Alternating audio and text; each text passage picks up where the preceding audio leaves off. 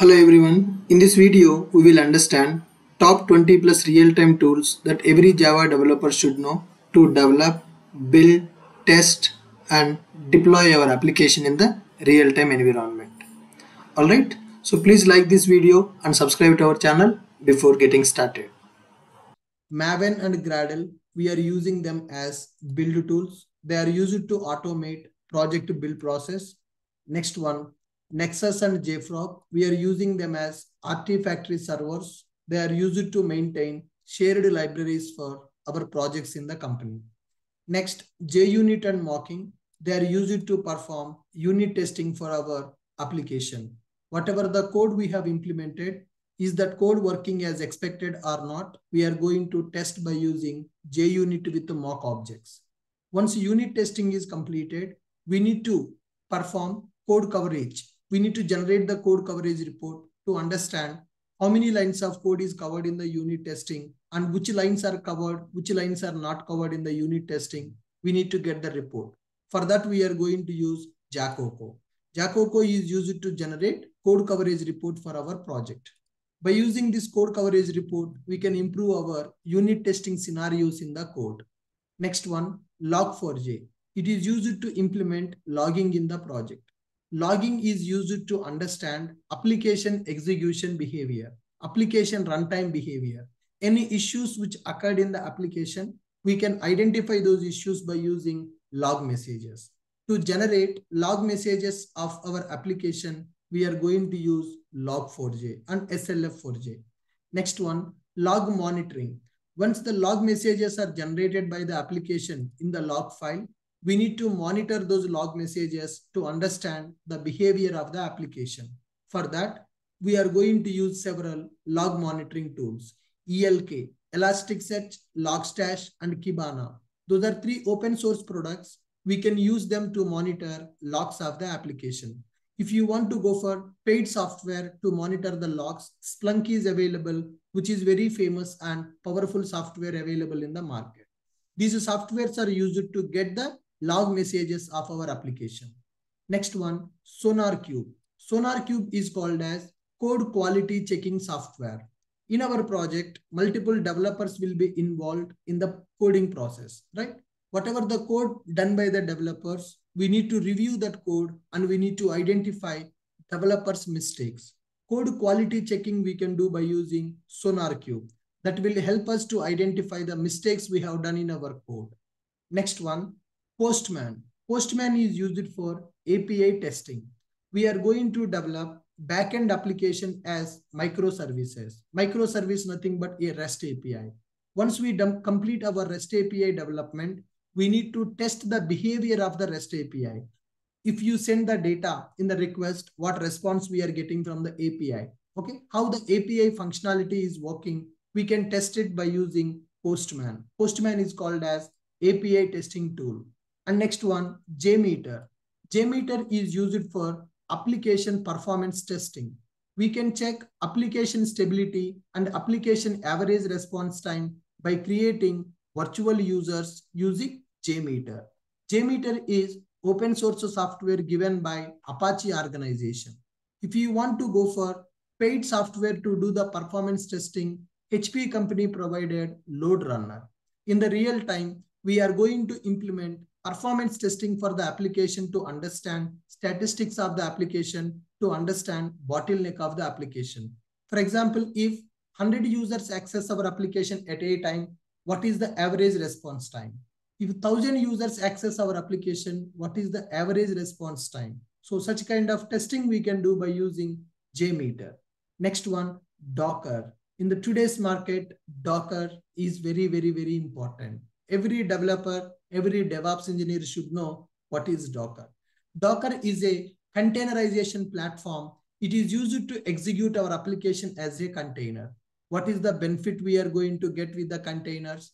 When we run our application by using Docker containers, it will isolate our application dependencies from our machine.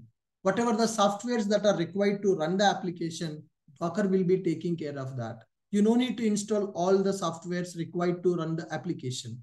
And by using the Docker, we can make our application portable. We can run our application in any, any machine without bothering about the softwares which are required for that application execution, like Java, database, servers and all. You no need to set up manually in every system.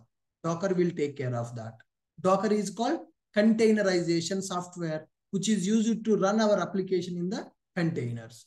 And when we are running our application by using containers, we are going to use Kubernetes for orchestration purpose. Kubernetes is an open source software which is used to manage our Docker containers. When we are working with multiple containers in the application, right, managing multiple containers will become difficult. If you take any microservice based application, for example, e-commerce e application, products page, products service will be available, order service will be available, payment service will be available, cancellation service will be available, report service will be available, admin service will be available. Managing all these services through containers difficult. So that's why we need a tool which will manage all the containers, deployments, containers, scaling, containers, load balancing, all that stuff. That's where Kubernetes comes into picture. Kubernetes is called as orchestration platform, which is having lot of demand in the market. Next one. In order to automate our application build and deployment process, we are using Jenkins. Jenkins is called as CI/CD software, nothing but continuous integration and continuous deployment.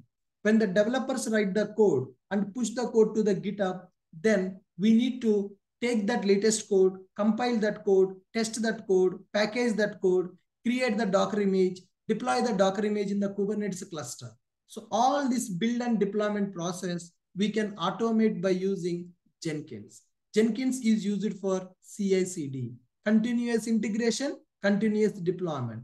When there is a code change, all the build and deployment process should be executed automatically. That's where we are using Jenkins. Here, GitHub. GitHub and Bitbucket are called as version control softwares. In the project development, multiple team members will be involved. They will be working from different, different locations. All the developers' source code should be integrated at one place code integration. To perform that code integration, to maintain the source code of the project at one place, we are going to use source code repository softwares. GitHub and Bitbucket are called as source code repository softwares. By using this GitHub and Bitbucket, we can integrate project to source code at one place and we can monitor source code changes. As we are working in the team, multiple people will be changing the code. They are adding the new code. They are modifying the existing code. They are removing some unwanted code. In this process, we need to understand who modified, when modified, why modified, what modified, where modified. That monitoring is very, very important because source code is everything in the project. So without source code, there is no project. So we need to be very careful when we are working with the source code of the project. That's why this GitHub and Bitbucket repositories we are going to use to integrate the code and to monitor code changes happening in the project. And next one, Jira. Jira is called as project management software. The complete project related work we are going to manage by using Jira. Jira is a commercial software given by Atlassian company. This Bitbucket and Jira tools developed by same company that is Atlassian. Bitbucket and Jira are commercial software. We can use trial version and we can practice Bitbucket and Jira. Tomorrow, when you join in the company, task assignment will happen through Jira only. Jira is used for project management as well as for bug reporting. So which team member should work on which task that will be assigned through Jira.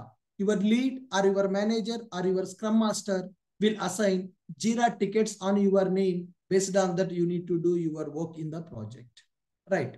Then after Swagger, Swagger is called as documentation tool. When we develop backend REST API to expose our REST API information or to provide the documentation about the REST API, we are going to use Swagger. Swagger for documentation purpose and Swagger UI is available that is providing user interface to test our backend REST APIs. Along with this, in the real time, we are going to use Apache Kafka for message broker. If, if you want to send message from one application to another application for B2B. I want to exchange some data from one application to another application. Then we are going to use message brokers. Apache Kafka is one of the most famous message broker available in the market. And if you are dealing with some static data in your application, I don't want to fetch the same data again and again from the database, then you can go for cache concept. Cache is used to improve performance of the application. By using cache, we can reduce number of DB calls between Java application and the database. So that's where we will use Redis cache. Redis cache we can implement in the project to load the static data. Apache Kafka we are going to use to send the messages from one application to another application using Kafka as a mediator. Kafka is called message broker. Producer application will store the message in the Kafka topic. Subscriber application will subscribe to that message from the topic. So to send the data from one application to another application, instead of sending directly, we will use Kafka as a mediator. Kafka is called message broker. Redis cache, which is used to improve performance of the application by reducing number of DB calls. These all are the real-time tools which are very, very, very important for every Java developer. So in this Docker, Kubernetes, Maven, GitHub, Jenkins, these tools also called as DevOps tools. As a developer, you should know DevOps operations also. In the real time, a project development, testing, deployment will happen with the help of these tools. If you know just Java language, if you know just Java coding, that is not sufficient to survive in the real time project in the company.